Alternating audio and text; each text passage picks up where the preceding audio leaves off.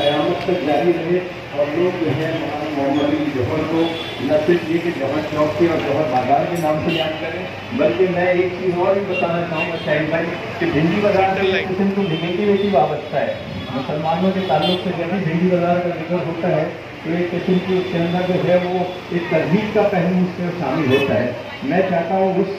छोटी लकीर को उस लकीर को छोटा करने के लिए हम उसके करीब उससे बड़ी लकीर भेज दें और हम जो है भिंडी बाज़ार को जो है, जौहर बाज़ार के नाम से जो है हमेशा के लिए मंसूख करते हैं मुझे पूरा यकीन है कि हमारे पैमाने नुमाइंदान में जो हमारे लोग हैं, आजकल तो कॉरपोरेशन को खैर कल्चर के हाथ में है इसके बावजूद भी ये काम जो है, अंजाम दिया जा सकता है। और मैं शुक्र अदा करूँगा, शुक्रिया अदा करूँगा मौलाना, मेरे नसरत साहब का। बड़ी दूर से तशरीफ़ लाए हैं और सफ़र की बर्दाश्त की हैं और हम चाहते हैं कि आप आपका किताब हो यहाँ पर और आप हम लोगों को जो है है